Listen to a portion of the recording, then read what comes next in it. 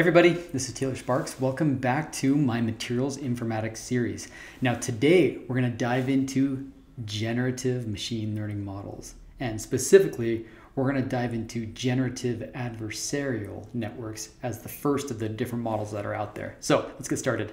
We benefit in the, the world of materials informatics of being adjacent to computer scientists who are doing all the real heavy lifting for us in coming up with cool new uh, machine learning models and algorithms for generating new things, right?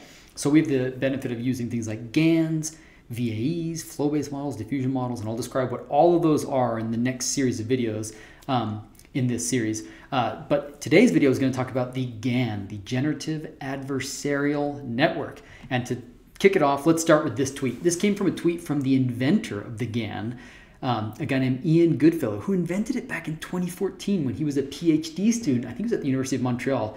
How awesome is that? Grad student invented this. Um, and he posted, you know, this tweet showing the progress how you know they were interested in using GANs to create faces like you see on the left here and he showed over the series of just four years the incredible progress in making these really realistic faces i added the one on the right in 2021 and now in 2024 my gosh they're doing videos and all sorts of other incredible things. So gans have proven a really really valuable tool. And in the short you know period of 10 years we've man like it's been a phenomenal tool and it's been used like crazy including in material science which will be our next video. So let's dive into how gans work. What are they? How do they do what they do? So GAN stands for Generative Adversarial Network, right? And it's the adversarial part that really makes them perform so well. It's also the reason why they are so frustrating to use. More on that later. Um, but at their simplest, they start with two different neural networks. And the first is a discriminator. And the discriminator, all it is, is a classifier, right? It's a straight up classifier where, again, the classifier's job is to classify things like, you know, that's a picture of a bird and that's a picture of a car. Well, this time what it's classifying is, oh, that's a real data point and that's a fake data point. So the idea is that you're going to pass into your discriminator real samples from some sort of distribution or database. In our case, since we're doing material science, that might be like a crystal structure database, or that could be real pictures of microstructures, or that could be real formulas, right? And then we're also going to pass it fake ones, right? And the discriminator's job is to figure out real or fake and get it right. And if it gets it wrong, then the loss function, right, gets imposed to, via backpropagation, update the weights of the neural network so that it gets better at its job, okay? And so the typical thing that you'll see at the end of the discriminator is something like a sigmoid function, right? Um, and we've talked about sigmoid functions before. They're this really great, you know, sigmoid shape that allows it, if it's a negative, if the final node of your neural network, for example, is a negative number, then it flattens to a zero. And if it's a really positive number, it goes to a one. And there's only this little region in the middle where there's any ambiguity, which makes them a good classifier. It's a good discriminator. Um, okay? So these are great, but this is just a classifier. This isn't going to generate anything new. Instead, it tries to learn something about the underlying distribution from which the data is sampled. Now, what do I mean by that? And why can't it generate something new? Let's, let's look at this example, which comes from Computerphile, great video on GANs. Let's consider these three different data samples that I've generated here. Now you can see that there is a sort of underlying pattern to all of these three individual samples, right? And that's the fact that this is sort of like a sinusoidal oscillation, right? And so what we are asking the classifier to do is figure out that underlying distribution, right? Which might look something like this red line in the bottom left. But then if you were to use that learned distribution and try and generate new data points, it might look something like this. The data points are going to sit right on top of that line because the classifier doesn't know how to add variance to this. It doesn't know how to add the noise that we need to make this look like a real sample, right? What we want it to do is spit out something like this, where it's it's more or less obeying the underlying distribution, but there's some realism to it. It looks like a real sample. And a classifier alone is not going to be able to do that. So clever people like Ian Goodfellow and company came up with this clever idea to what they, they basically said, well, what if you have one model that learns the distribution and another that tries to generate things that match that distribution and you pit these two things against one another. And thus was born the generative adversarial network. So in this model, you see it looks like what we had before, partly. You still have this uh, database of real materials that get passed to a discriminator whose job is still to figure out real from fake. But instead of starting with some database of fake materials, we're going to use another neural network, our generator, to generate fake samples, right? So this could be fake compounds, fake images, whatever it is we're talking about. It's going to generate fake versions, and the discriminator job is going to be to tell the real from the fake, and the catch is this. The loss function is going to apply to both neural networks, right? The loss function, in one case, the discriminator wants to do a really good job at correctly classifying real versus fake. But the discriminator wants to do a really good job at fooling the discriminator such that it does a bad job on classifying real versus fake. And so we're going to take information from the loss function when it gets it right or when it gets it wrong, and we're going to use that to do backpropagation to both of these models sort of separately. Um, but the benefit here is that once you get this trained and working well, well, then you could take random noise, which sort of represents our chemical white space, um, and we'll talk about how to impose constraints on that in a later video on optimization. But essentially, in comes random noise, out comes a realistic looking structure or microstructure, or whatever it is about the materials. And as the better the generator gets and the better the discriminator get, they start to pit one against another. The, the classic example is always that of like a, a con artist and a forger, or, uh, sorry, a con artist and a detective. So the con artist might, might want to make fake paintings of, you know, whatever, Monet or whatever uh, Picasso. And yet the discriminator is going to be our detective, is going to want to do a better job of catching the con artist. And the better the detective is, the better the con artist must be, and vice versa. This adversarial training allows these two to pit against one another. And that's kind of honestly how how humans work, right? When I'm teaching my kids to speak or different, different things, I'm also I'm pointing out the things that they get wrong, and we are constantly challenging them as they learn to speak and walk into things to focus on the things that they're not doing quite as well, right? So it's a really great opportunity, but it's also what we call a min-max game. What do we mean by a min-max game?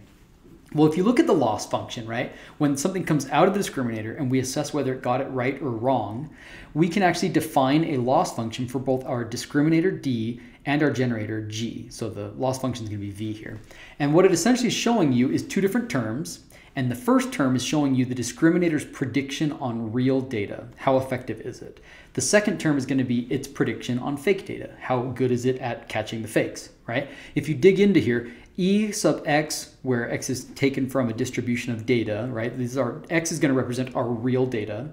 So the expectation when you send it real data to the discriminator, hence d of x, right? When we take log of that term, we want it to be high, right? In other words, we want it to correctly uh, uh, classify real data.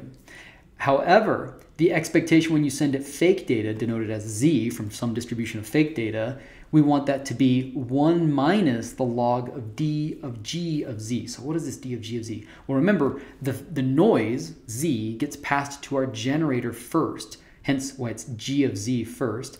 That is now generating a fake sample. g of z is the fake sample. And we then pass that to the discriminator. So d of g of z is the evaluation on that fixed sample. So we want that to be low, right? We don't want it to fall for that, hence why it's 1 minus that log term. Um, and it's interesting because now we have this scenario where the discriminator and the generator are doing two different things.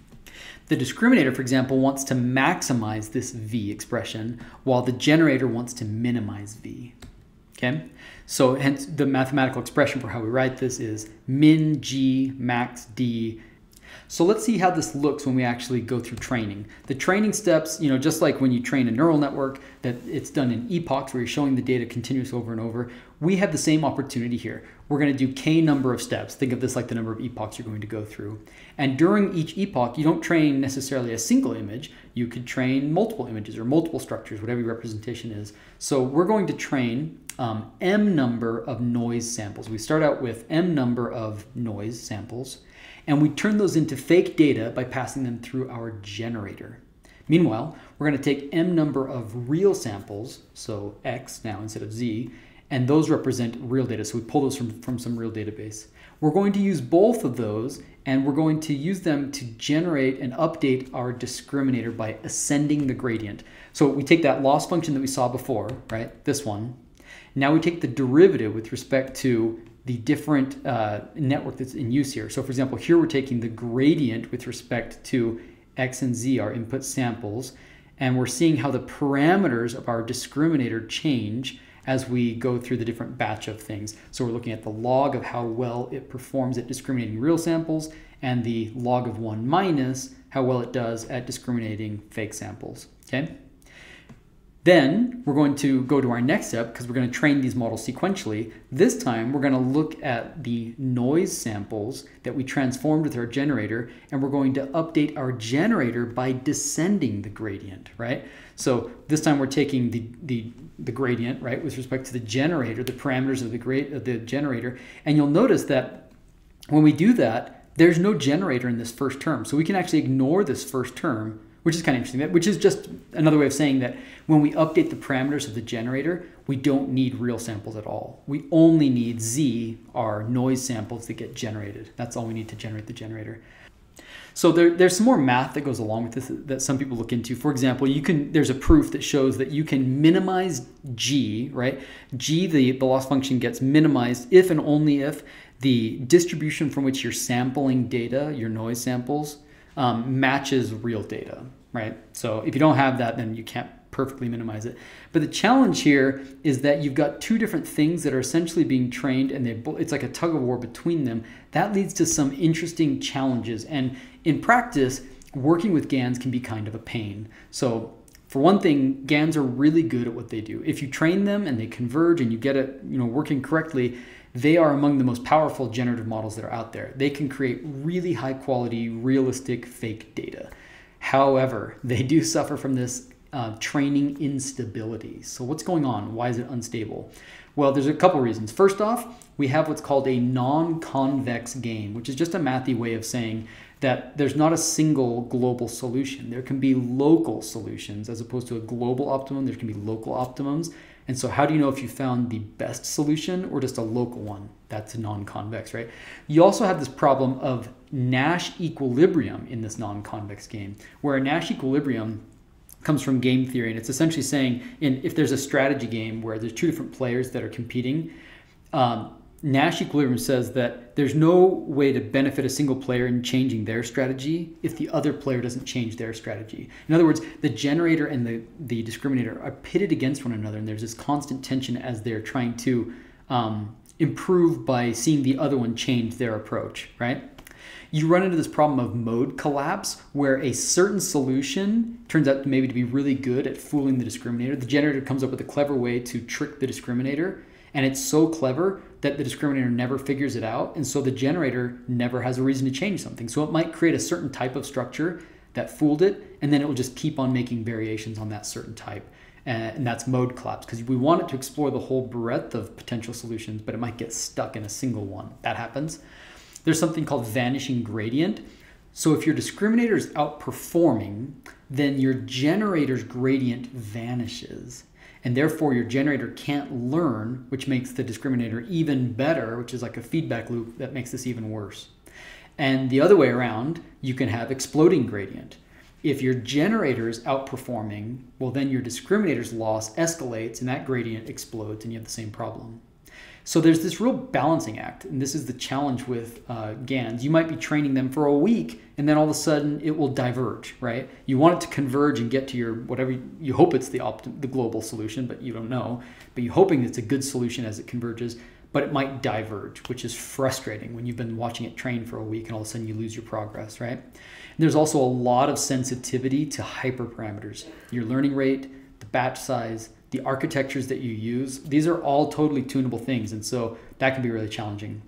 So what can we do to make GANs in general work better? Well, first off, there are alternative loss functions. Remember the discriminator uses typically a sigmoid, um, and sigmoids are good discriminators, but they also approach asymptotes. As it gets really fake data or really real data, it approaches an asymptote. And I'll show you this in my next slide. Uh, in my next video in the series when we talk about applications materials that that can be a problem because you get this vanishing gradient. Um, there are regularization techniques where you sort of penalize it for using too many features or trying to prevent it from overfitting. And there's also lots of different architectures, in particular things like conditional GANs or Wasserstein GANs, more on those in the next video. And these give additional information to the generator or discriminator that can make them perform a little bit better. So with our foundation set for how GANs work, Let's dive into our next video, which is how GANs have been used in material science.